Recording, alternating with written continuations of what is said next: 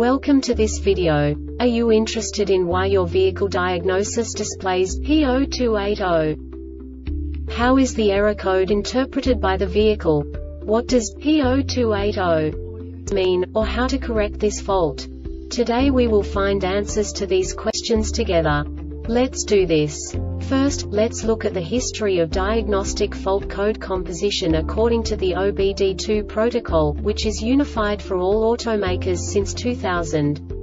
We divide the electric system of automobile into the four basic units. Powertrain, body, chassis, network. This distribution is defined in the first character code.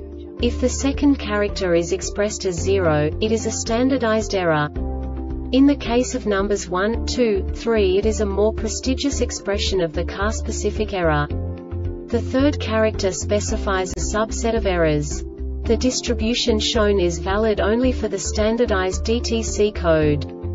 Only the last two characters define the specific fault of the group. Let's not forget that such a division is valid only if the other character code is expressed by the number 0. Our website airbagreset.sk produces useful videos for you. You do not have to go through the OBD2 protocol anymore to know how to troubleshoot any car breakdown. You will find all the diagnostic codes that can be diagnosed in a Audi vehicles. Also many other useful things. The following demonstration will help you look into the world of software for car control units. You unbelievably can move the video a bit further. The error code is split into two bytes consisting of 16 bits. One bit is the basic unit that each computer works with. The bit has two logical states. 0, low level, 1, high level. By combining the first two bits, the basic character of the error code is expressed.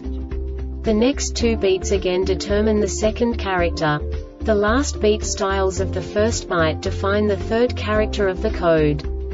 The second byte is composed of a combination of 8 bits. The first 4 bits determine the fourth character of the code. And the combination of the last 4 bits defines the fifth character. A single byte conceals 256 possible combinations. We now know in what way the diagnostic tool translates the received information into a more comprehensible format. The number itself does not make sense to us if we cannot assign information about it to what it actually expresses. So, what does the diagnostic trouble code P0280 interpret specifically Audi car manufacturers? The basic definition is cylinder 7 injector circuit high. And now this is a short description of this DTC code. Injection valve, commanded on engine speed, higher than 40 rpm. This diagnostic error occurs most often in these cases. Check fuse check for signal, voltage and ground check harness for open or short check resistance of injector replace the fuel injector. The Airbag Reset website aims to provide information in 52 languages.